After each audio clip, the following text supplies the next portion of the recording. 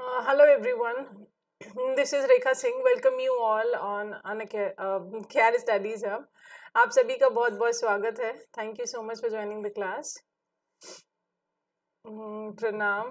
Good evening Vaishali, Laxman, Diwakar, Ritesh, Alok, Gaurav, Varsha, Sonam. Very good evening to all of you and thank you so much for joining the class hope you all are doing well आप सब अच्छे हैं और अपना ध्यान रख रहे हैं। Good evening Sonam. हाँ दैट्स राइट. ये न्यूज़ काफ़ी हद तक ठीक है आलोक जी। हमें भी इंटरनल सोर्सेज से पता लगा है कि रिज़ल्ट मोस्ट प्रोबेबली कल लेट इवनिंग तक अनाउंस हो जाएगा। तो बी प्रिपेयर जिस भी स्टूडेंट ने सिक्सटी सिक्स का मेंस दिया है। नमस्कार Priya, Vineet a very good evening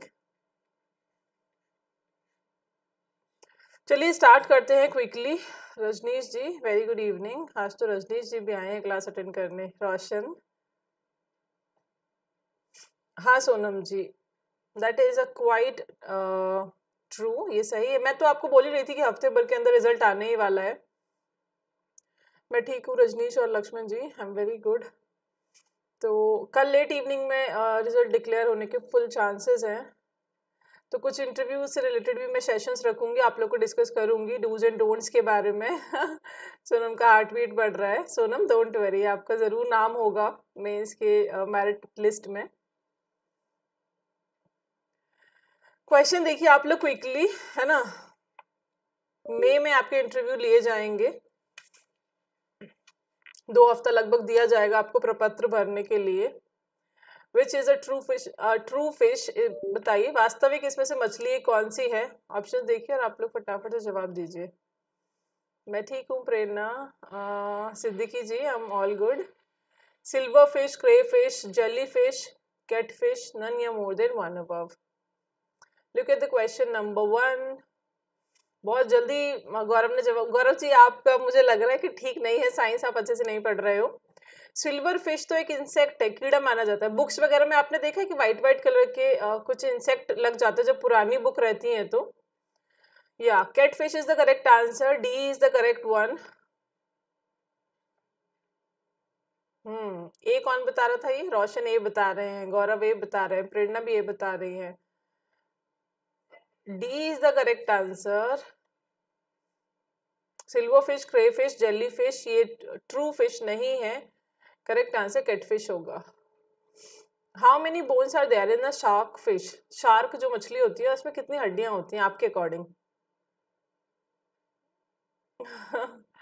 hundred zero two hundred three hundred none या मोर देन वन अब स्क्रीन जो स्लाइड है, आपको विजिबल है?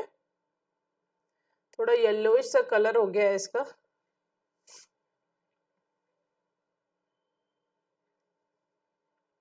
रट क्यों रहे हो फिर, गौरव? बायोलॉजी को समझ लो। बायोलॉजी तो बहुत आसान सा है। फिजिक्स केमिस्ट्री से तो आसान ही पड़ता है है ना? बायो ज़ीरो बता रहे हैं, एक भी बोन नहीं होती है शार्क में, इसीलिए क्वेश्चन पूछा जा रहा है।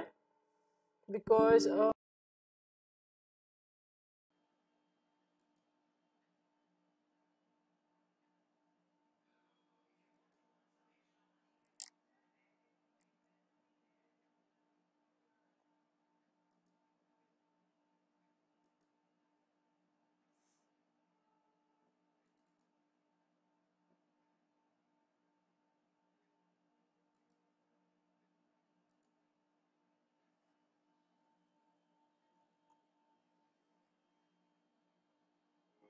हाँ इट्स फाइन नाउ एक्चुअली मैं पावर ऑन करना भूल गई थी तो शट डाउन हो गया था लैपटॉप सॉरी चार्जर लगाना मैं भूल गई थी, काफ़ी देर से इस पे काम हो रहा था that's why okay it's fine अभी ठीक है, अभी तो आपको दिख रहा होगा। ओके ओके चलिए थैंक यू सो मच तो यहाँ पे ज़ीरो था। नेक्स्ट क्वेश्चन देखिए। इको हो रहा है।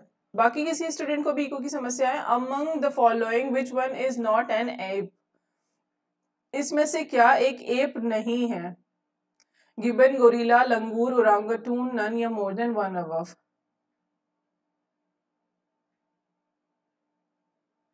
okay okay. Very good Avinash ने बहुत जल्दी जवाब दिया है। लंगूर बता रहे हैं। रितेश, श्रद्धा, सारे बच्चे सी बता रहे हैं। करेक्ट आंसर सी है।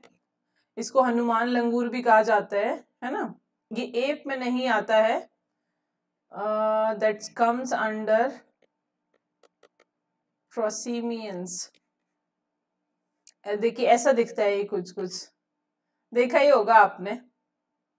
हरिद्वार वगैरह गए होंगे तो वहाँ खूब है, लंगूर देखने को मिलते हैं। The panda belongs to the same family as that of panda किसके परिवार से? फैमिलीज़ होती है ना? तो यूपीएससी का क्वेश्चन है। हाँ जी। तो पांडा किसकी फैमिली से बिलोंग करता है? Bear cat dog rabbit none या more than one above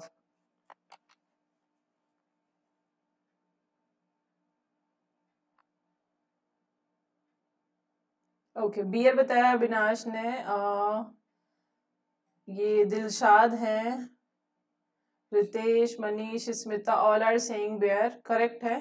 beer family से ही बिलोंग करता है panda. The largest invertebrate is largest invertebrate given options में से कौन है? Octopus squid coral jellyfish none या मोर देन वन अबव ये क्वेश्चन भी अच्छा है। Look at the question number five जवाब दीजिए। थोड़ा जल्दी जल्दी कीजिए आप लोग, ठीक है? क्योंकि टाइम बचेगा तो आप लोग कुछ और भी रिवाइज कर लोगे। Squid is the correct answer squid कुछ ऐसी दिखती है एंड ये लार्जेस्ट इन्वर्टिब्रेट में आती है। ये बहुत बड़े साइज़ की भी जाइंट स्क्विड भी हो जाती हैं कभी कभी ticks and mites are actually ticks and mites जो हैं, वो किसकी कैटेगरी में आते हैं? Urchin crustaceans insects myriapods none या more than one above hmm octopus नहीं होगा, सोनम। करेक्ट आंसर स्क्विड है ओके ध्यान रखिएगा ऑक्टोपस से बड़ा होता है स्क्विड देखिए किसमें किसी कैटेगरी में आते हैं? ये इंसेक्ट हैं। इंसेक्ट कौन बता रहा है?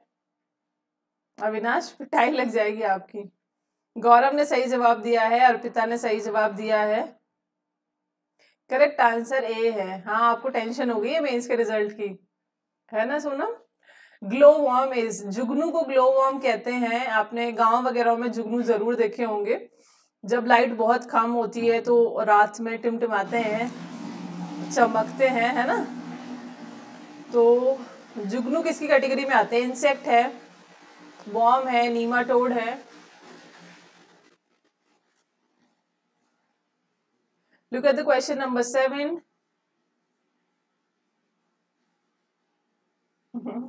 कोई बात नहीं स्टे पॉजिटिव सोनम। और कुछ बच्चे पूछ रहे थे कि भाई, जो देखिए जिन, जो मेंस पास करेंगे, उन्हीं का रोल नंबर रहेगा लिस्ट में। बाकी जो फेल भी कर जाते हैं, उनका जो मार्कशीट है, वो एक हफ़्ते बाद दिखा दी जाती है। इंसेक्ट करेक्ट आंसर है, जुगनू एक इंसेक्ट है। Which of the following animals stores water in the intestine इनमें से कौन सा ऐसा जानवर है, जो पानी को अपने आंत में स्टोर कर लेता है?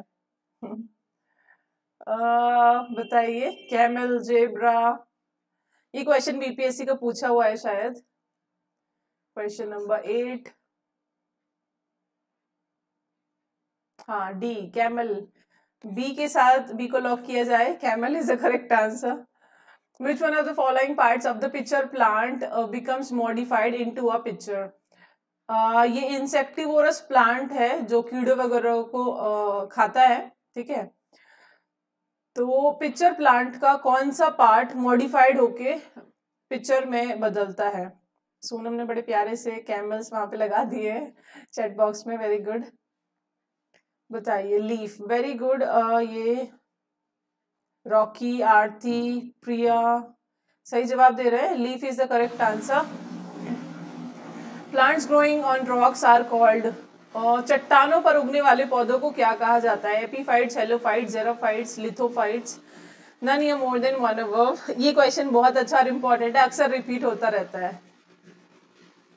Okay okay good look at the question number ten lithophytes very good Parvez Alam ji ने बहुत जल्दी जवाब दिया है और गौरव अगेन गलत जवाब दे रहे वैशाली ने सही जवाब दिया है।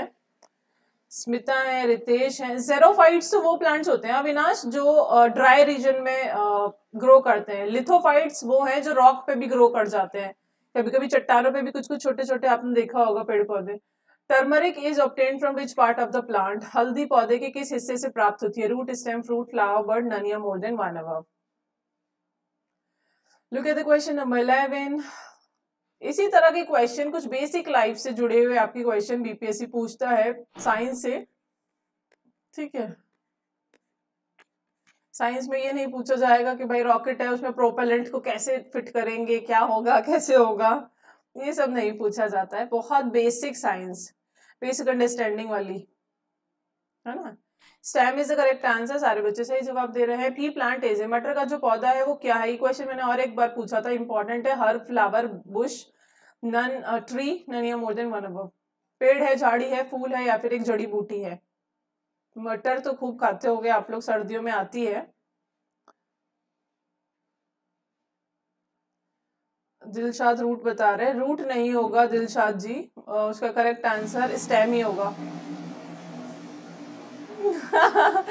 ओके गौरव या that is a herb correct answer herb है.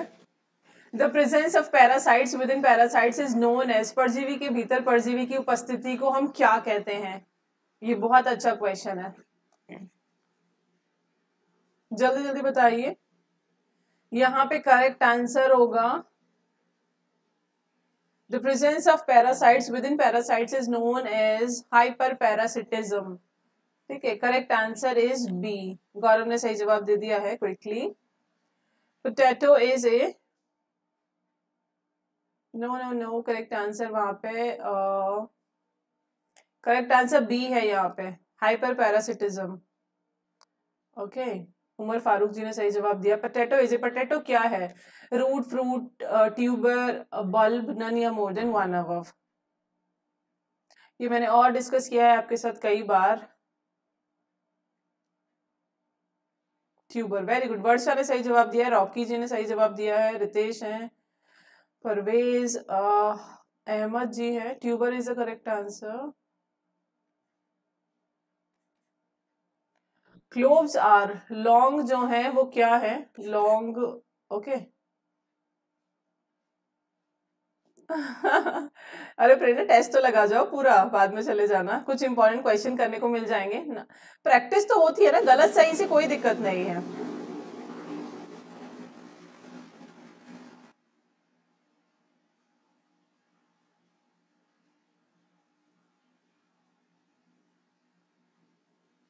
Okay dried flowers very good D is the correct answer among the following which is not a true fruit इसमें से क्या एक वास्तविक फल नहीं है? एप्पल ग्रेप डेट या फिर प्लम आलू, बुखारा नन या मोर देन वन अब ये भी अच्छा क्वेश्चन है, अक्सर एग्ज़ाम में आ जाता है। आपको मैं बता दूँ कि बनाना आप लोग इंजॉय करते हो स्ट्रॉबेरी आप लोग खाते हो तो ये सब भी ट्रू फ्रूट में नहीं आते हैं। हाँ apple is a correct answer because ये राइपेंड ओवरी है तो इसलिए ट्रू फ्रूट में नहीं आता है। वैसे ही बनाना और स्ट्रॉबेरी भी ट्रू फ्रूट ये फॉल्स फ्रूट है। Peeling of onions causes tears और ऑनियन रिलीजेस ऑनियन को छीलने पे, प्याज को छीलने पे आँसू निकलते हैं लोगों के। तो क्या कारण है उसका? क्यों हाँ रोज आते हैं अक्सर लोग ऑनियन को काटते हुए? Sulphonic acid sulphinic acid amino acid carbolic acid क्या रिलीज़ होता है?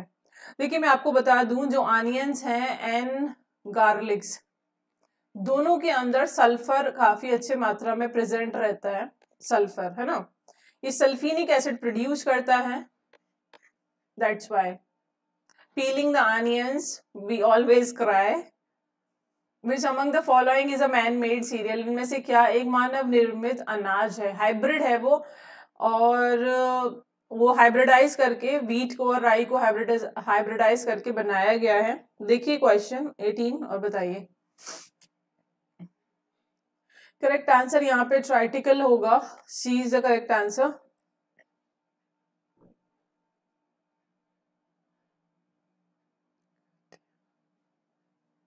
क्या काटा है अविनाश जी आपने? आनियंस हेलमेट लगा के. बताओ. लड़कियाँ और जो आपकी मॉम है, घर में बहनें वो तो सब ऐसे ही काटती हैं. उनका दर्द महसूस हुआ आप लोगों को फिर? Yeah, look at the question number 19. The smallest organism capable of autonomous growth and reproduction is विकास और प्रजनन में सक्षम सबसे छोटे जीव का नाम बताना है। Virus bacteria mycoplasma bacteriophage none या more than one above very good Umar Farooq ji को कोई क्लू नहीं है इसमें। माइको प्लाज्मा गौरव ने सही जवाब दे दिया जल्दी से। माइको वर्षा है यहाँ पे। सही जवाब दे रही हैं। Correct answer is C plants adapted by the dry climate are known as dry climate में उगने वाले प्लांट्स को क्या कहते हैं? अब अविनाश यहाँ पे जो आप जवाब दे रहे थे, वो यहाँ पे फिट हो जाएगा। एपीफाइट जेरोफाइट हाइड्रोफाइट या फिर मीन प्लांट्स मतलब ही पौधे। ननिया मोर देन वन अब क्या सही ऑप्शन डाला है ये। है ना? हाँ जेरोफाइट्स करेक्ट आंसर है यहाँ पे। ये ड्राई क्लाइमेट में उगने वाले, अक्सर रेगिस्तानों में उगने वाले पौधों को जेरोफाइट कहते हैं। Plants which can grow on saline soils खारी मिट्टी पर उगने वाले पौधों को क्या कहा जाता है? Hydro halo xerophytes very good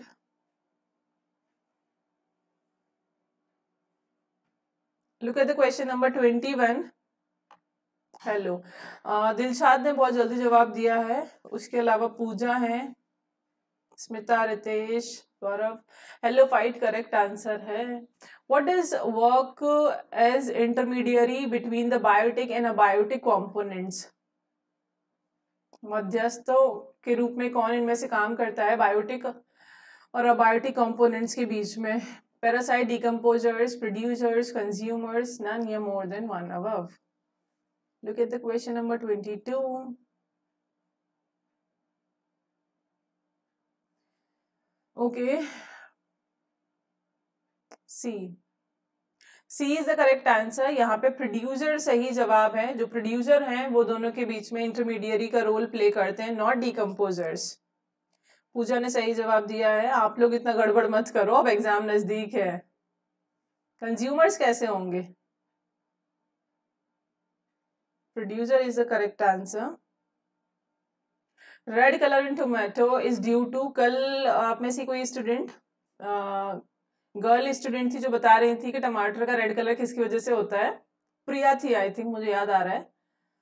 है ना? तो लाइकोपीन देखो यहाँ पे क्या सही जवाब है। केप्सेसिन xanthophile, diploic, none या more than one above. Very good correct answer B है और सारे बच्चे सही जवाब दे रहे हैं।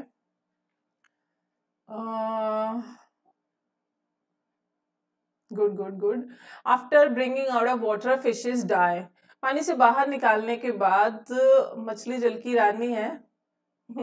जीवन इसका पानी है तो वो बाहर निकालने के बाद मर जाती है। क्यों? एक्सेस क्वांटिटी ऑफ़ ऑक्सीजन नहीं ज़्यादा मिल जाता है ऑक्सीजन बॉडी टेम्परेचर उनका बढ़ जाता है दे कैन नॉट ब्रीद सांस नहीं ले पाती हैं they can not move in water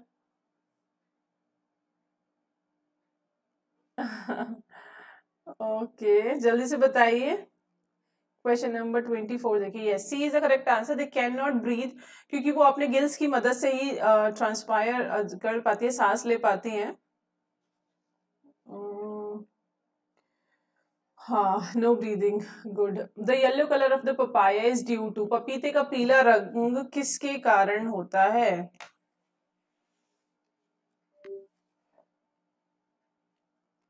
बताओ।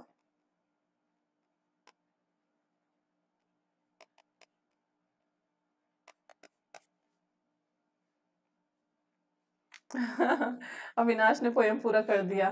ट्वेंटी फाइव देखो। सिद्दीकी जी सी बता रहे very good Siddiqui ji. Very nice C is the correct answer xanthophyll pigment इसे कहते हैं।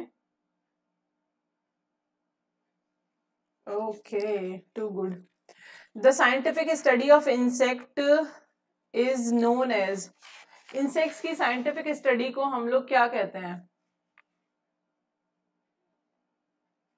एंटोमोलॉजी पैरासिटोलॉजी लाकोलॉजी काफ़ी सारे डिफ़िकल्ट डिफ़िकल्ट नेम है आपके लिए। जल्दी से बताइए। थोड़ा क्विक कीजिए आप लोग, है ना?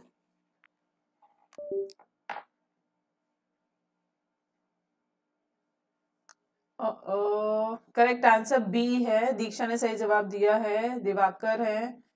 Sanjay, Umar Farooq, Prerna entomology is the correct answer rearing of silkworm is known as रेशम के कीड़ों के पालन को क्या कहा जाता है? Apiculture horticulture sericulture floriculture ननिया more than one one that is super easy मुझे लगता है कि इसका कोई गलत जवाब देगा।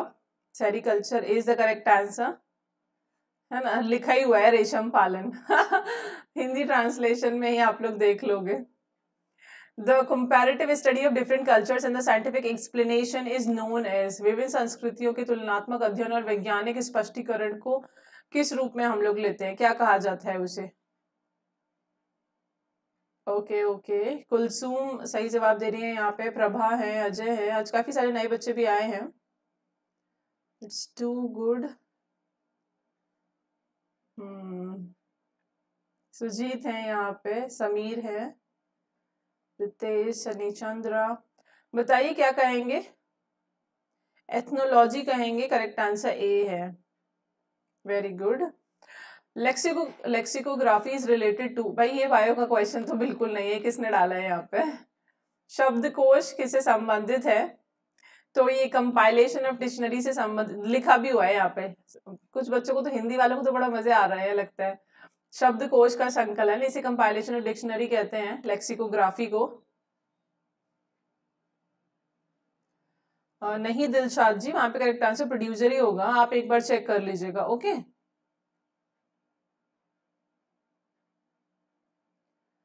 okay in vermiculture the worm use as vermiculture में किस कीड़े का इस्तेमाल किया जाता है? Tapeworm silkworm threadworm earthworm none या more than one above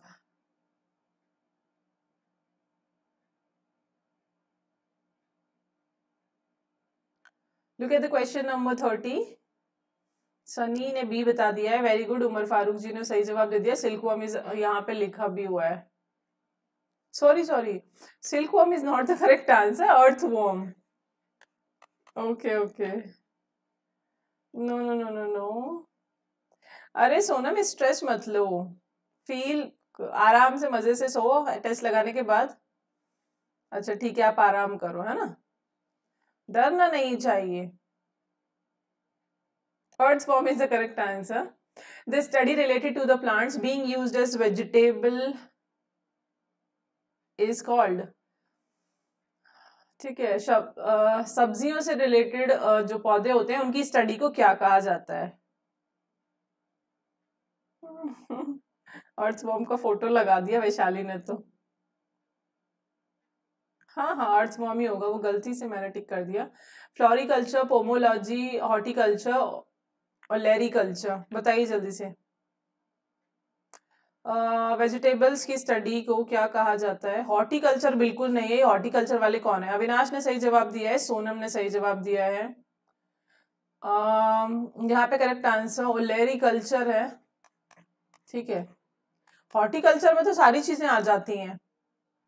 The branch of study dealing with the old age and ageing is called बुढ़ापे से संबंधित जो पढ़ाई होती है, उसको हम किस कैटेगरी में रखते हैं? जीरोटोलॉजी ऑनकोलॉजी ऑनकोलॉजी हमेशा ध्यान रखिएगा कैंसर से रिलेटेड है। टेराटोलॉजी ऑरिंथोलॉजी आप बताइए, एक हटा दिया मैंने, तीन ही बचे हैं। B very good gerontology is the correct answer ageing से रिलेटेड स्टडी को हम जेरोटोलॉजी कहते हैं। Under palaeobotany one studies palaeobotany में हम लोगों को क्या पढ़ाया जाता है? Fossils of animals algae, fungi, insect, none या मोर देन वन अब ये क्वेश्चन भी अच्छा है, पैलियोबॉटनी वाला। जल्दी जल्दी बताइए।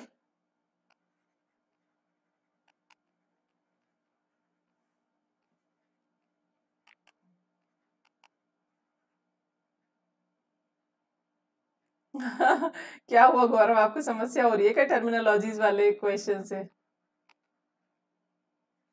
ए बिल्कुल नहीं होगा, जो ए बता रहे हैं ना। हाँ वेरी गुड अविनाश ने सही जवाब बताया प्लांट फॉजिल डेड प्लांट्स के फॉजिल की स्टडी करवाई जाती है पैलियोबॉटनी में। Correct answer is E Roshan ने सही जवाब दिया है, अविनाश ने, और बस दो ही बच्चों ने आई थिंक सही जवाब दिया है। बाकी सब एक ही तरफ़ कूद पड़े। मैंने फॉजिल लिखा है यहाँ पे तो सबने फॉजिल देखा। और एकदम जंप लगा दिए। गुड नाइट नरेंद्र जी ने भी ये बताया very good Narendra. What is hydroponics hydroponics किसको कहा जाता है? Growing plants without soil grafting plants study of vegetable soil conservation and या more than one above look at the question number 34 Pooja ने सही जवाब दे दिया ए करेक्ट आंसर है growing plants without soil okay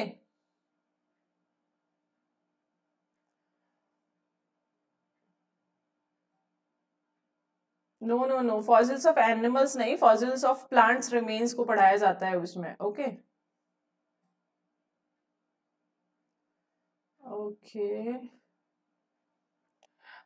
archaeopteryx is what ये question BPSC ने पूछा भी हुआ है, बहुत पहले पूछा था। ये क्या है बताइए? ये एक एंशियंट बर्ड है जुरासिक एज का। करेक्ट आंसर ए होगा इसका। जुरासिक युग का सबसे प्राचीन पक्षी है ये। Correct answer is A archaeopteryx से रिलेटेड है। हाँ हाइड्रो है तो पानी से रिलेटेड है। Very good Priya. बहुत सही पकड़ा आज आपने। The book the origin of species was written by origin of species नाम की जो किताब है, वो किसने लिखी? ये क्वेश्चन भी क्लास साढ़े दस बजे स्टार्ट होती है डेली ठीक है? स्टडी ऑफ़ बटरफ्लाई वाला क्वेश्चन हो गया था। मोहम्मद जी, एक दिन हो गया ये क्वेश्चन। बताइए, किसने लिखा है ये बुक? डार्विन बताया है, दीक्षा ने, वेरी गुड दीक्षा। रितेश ने सही जवाब दिया है, वर्षा। और कुछ कुछ बच्चे सही जवाब दे रहे हैं। Darwin is the correct answer the mutation theory of evolution was initiated by mutation theory जो है इवोल्यूशन की, वो किसके द्वारा दी गई थी? Huxley Darwin Lamarck Hugo de Vries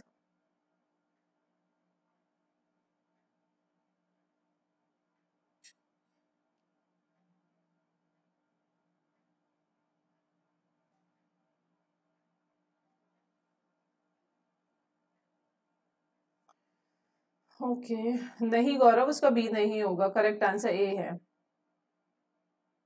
very good Kaushik ji ने बहुत जल्दी जवाब दिया है. दिलशाद है. वैशाली है करेक्ट आंसर डी है। The reason of large scale diversity among the organism is जीवों के बीच में बड़े पैमाने पर विविधता का कारण क्या है? एडेप्टेशन कॉपरेशन म्यूटेशन या फिर none more than one above Narendra ने जवाब दिया है डी वो रेप्टाइल नहीं थी आर्कियोफेरिक्स एक बर्ड था। गौरव, आपने ढंग से पढ़ा नहीं है शायद। थोड़ा पढ़ लो उसके बारे में, ठीक है? That was not a reptile at all वो बर्ड था, उसके विंग्स का भी जो है फॉजिल मिले थे। Mutation very good C Diwakar, Rana, Avinash Ahmad ji हैं, अभिषेक हैं। कुछ कुछ बच्चे सी बता रहे हैं। ज़्यादातर बच्चे सी बता रहे हैं। C is the correct answer dinosaurs were in dinosaurs किस एज में आपको देखने को मिलते थे? Paleozoic Cenozoic Mesozoic Pleistocene era in which era you found dinosaurs dinosaurs के बारे में आपने किस एज में पढ़ा है? Okay okay. बताइए जल्दी से। करेक्ट आंसर मीजोजोइक होगा यहाँ पे। C is the correct answer not B Ritesh ने सही जवाब दिया है, गौरव, नरेंद्र ने सही जवाब दिया है। Warm blooded animals are those which are able to keep their body temperature warm blooded animals वो होते हैं जो अपने बॉडी टेम्परेचर को मेंटेन करने में लोअर देन द एनवायरमेंट सफल रहते हैं higher than the environment constant temperature all time उनके बॉडी का टेम्परेचर हमेशा सेम रहता है। सोनम क्लास में है अभी हाँ? सोनम आई विश कि आपका नाम ज़रूर कल लिस्ट में होगा तो टेंशन मत लीजिए, है ना? Stay happy and cheerful positive सोचते हैं तो पॉजिटिव चीज़ों को हम लोग अट्रैक्ट करते हैं। तो think about that only equal to the atmospheric temperature okay C is the correct answer देखिए, जो वार्म ब्लडेड एनिमल्स हैं वार्म ब्लडेड एनिमल्स में ह्यूमन बींग्स भी आते हैं। क्या हमारा टेम्परेचर सर्दी गर्मियों में ऊपर नीचे होता है, बढ़ता है? हमारे बॉडी का टेम्परेचर सेम है constant temperature all time birds भी वार्म ब्लडेड एनिमल है। आपने देखा होगा कि सर्दियों में सुबह सुबह जब धूप निकलती है तो चिड़िया जो आके छत पे और अलग अलग जगह पे आके बैठ जाती है धूप सेकने के लिए, क्योंकि उन्हें ठंड लगती है। हमें भी ठंड लगता है ना? तो वार्म ब्लडेड एनिमल्स का जो टेम्परेचर है बॉडी का, वो कॉन्स्टेंट रहता है। चेंज नहीं होता है सीज़न के according which one of the following creatures have no blood but respires निम्नलिखित प्राणियों में से ऐसा कौन है जिसमें रक्त नहीं है, लेकिन वो रेस्पायर करता है, सांस लेता है? Okay. Hydra cockroach earthworm fish none या more than one above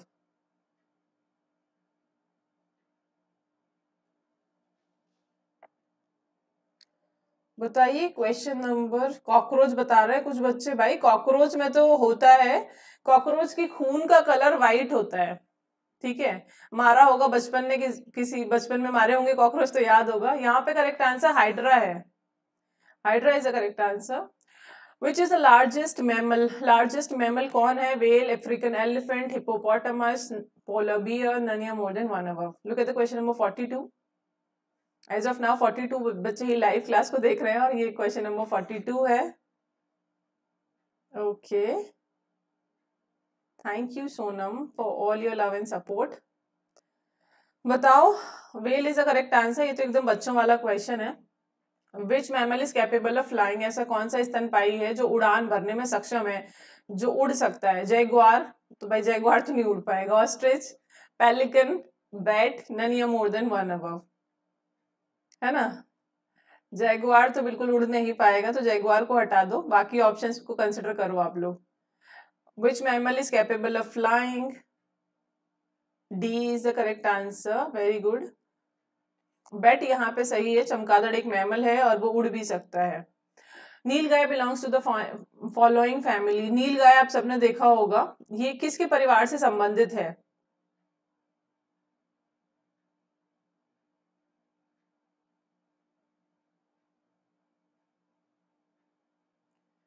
Okay, okay. Look at the question number uh, 44. Nilgai belongs to sorry इसकी फैमिली से बिलोंग करती है? डियर इसीलिए ये बहुत छलांग भी मारती है। आपने देखा होगा कि नील गाय को बहुत लंबा लंबा जंप मारती है। वो काव नहीं है। काव तो इतना जंप नहीं मारती है। डियर की एक खासियत होती है हिरन की कि वो बहुत जंप लगाता है हिरन है ना? तो काव की फैमिली से बिलोंग नहीं करते। कौन बता रहा है? मनीष जी हैं। Nilgai belongs to the family of deer हिरन की फैमिली से आती है, वो ध्यान रखिएगा। गाँव वगैरह में खूब मिलती है, खेतों में घूमती हुई, बर्बाद कर देती है कभी कभी फ़सल को। Termites are also known as termites को हम और क्या कहते हैं? तो यहाँ पे दीमक लिखा हुआ है और यहाँ पर भी दीमक लिखा हुआ है तो समझदार को इशारा काफ़ी। व्हाइट आंट्स इन्हें कहते हैं, सफ़ेद चीटियाँ होती हैं व्हाइट कलर की दिखती हैं, बहुत छोटी और तेज तेज चलती हैं। Termites are also known as white ants सही है। Which of the following organism has white blood इनमें से ऐसा कौन सा जीव है जिसका रक्त सफ़ेद होता है? तो ये मैंने अभी आपको पीछे बता दिया कि भाई कॉकरोच को जब मार दिए यूपीपीसीएस ने पूछा था अभी, उन्नीस बीस का क्वेश्चन है। कॉकरोच का जो ब्लड है वो व्हाइट होता है। उसको मारने पे व्हाइट व्हाइट जो है वो रहता है। ठीक है? Which one of the following is not an insect इनमें से क्या एक इंसेक्ट नहीं है? Bed bug spider house fly mosquito ये कल भी ये क्वेश्चन हुआ था बट लैंग्वेज उसकी बस अलग थी, है ना? क्वेश्चन सेम ही था।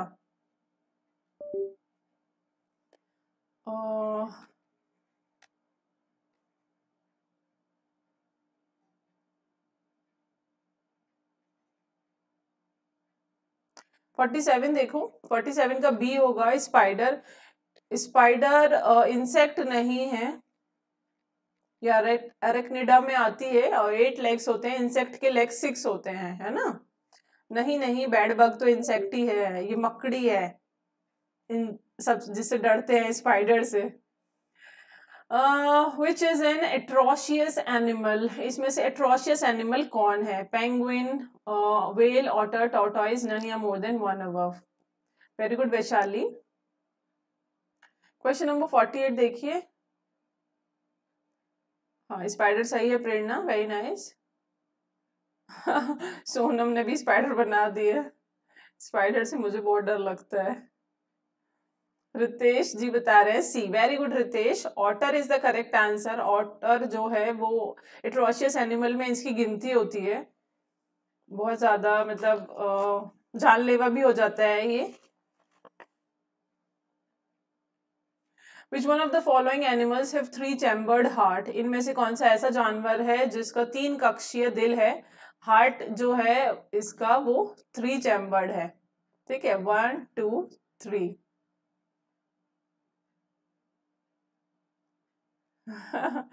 ओके, बताइए। Monkey फ़िश एंड क्रोकोडाइल इन तीनों का जो हार्ट है, वो फोर चैम्बर्ड है। ठीक है। ह्यूमंस का भी फोर चैम्बर्ड हार्ट है। तो यहाँ पे करेक्ट आंसर फ्रॉग है। फ्रॉग का हार्ट जो है, वो थ्री चैम्बर्ड है। ये फ्रॉग वाली इमोजी बड़ी अच्छी लगती है सुंदर सी। है ना? तो ह्यूमंस का हार्ट भी फोर चैम्बर्ड है और मॉन्की क्रोकोडाइल एंड फ़िश का भी फोर चैम्बर्ड है फ्रॉग का थ्री चैम्बर्ड हार्ट है। हाँ हम सबकी तरफ़ से सोनम आ, हम गॉड से प्रेयर करेंगे आपके लिए। अगर आपने बहुत अच्छे से एग्ज़ाम किया होगा तो definitely will be in the list atrocious भयानक होता है पूजा जो जानलेवा हो सकता है जो लोगों को मार सकता है बहुत जल्दी है ना? उसे एट्रोशियस कहते हैं। Which one of the following has the largest brain in the proportion of its body size? अपने शरीर के अनुपात में uh, किसका जो दिमाग है वो बड़ा है? Ant elephant dolphin human being इंसान है ये नन या more than one above and this is the last question of the class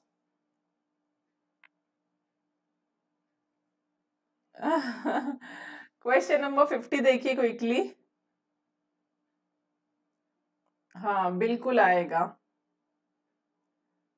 We all are so positive for you because you are a very brilliant student.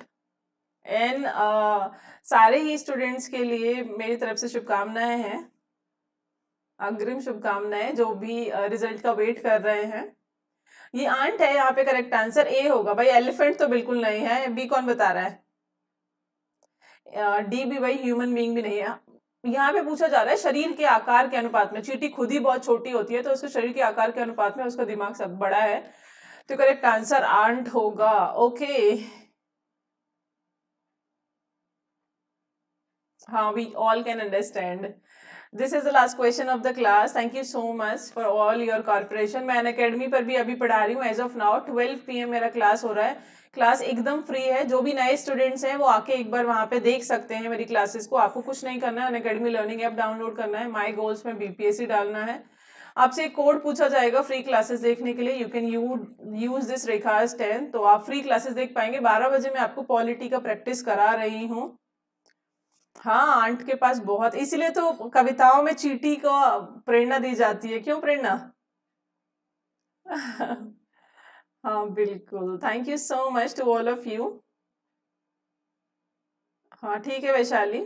Hundred questions रख लेते हैं। अभी fifty करो एक दो दिन और।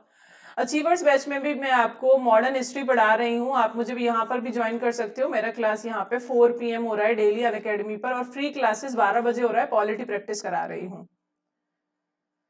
हाँ स्मिता इकोनॉमिक्स और जियो भी कोशिश करूँगी मैं। लिंक मैंने ऊपर पिन कर दिया आप लोग जो भी नए स्टूडेंट्स हैं वो लिंक पे क्लिक करके आ, मुझे फॉलो कर सकते हैं वहाँ पे जाके। Okay bye bye take care और देखिए यहाँ पे आ, मेगा सब्सक्रिप्शन ऑफ़र भी चल रहा है पुलिस एग्ज़ाम्स के लिए। बारह मंथ के सब्सक्रिप्शन पे दो, दो मंथ का सब्सक्रिप्शन फ्री दे रहा है अकेडमी आपको। ओके ठीक है हंड्रेड क्वेश्चन का रखते हैं। तो मिक्स काइंड ऑफ़ क्वेश्चन रख रही हूँ फिर मैं साइंस से। ठीक है फिजिक्स केमिस्ट्री बायो सब कुछ रख देती हूँ उसमें। Then it will be better to revise right section wise से करने से अच्छा है कि हम साइंस को पूरा एक साथ लेके करें साइंस बहुत इंपॉर्टेंट पोर्शन है। तीस से पैंतीस क्वेश्चन यहाँ से आएँगे।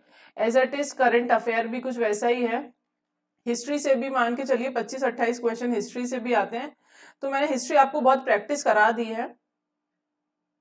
हाँ गौरव, कल स्पेशल क्लास है। बारह बजे ही होगा। बाय टेक केयर आप लोग अपना ध्यान रखिए। आराम से एक डीप नींद लीजिए। Good night to all of you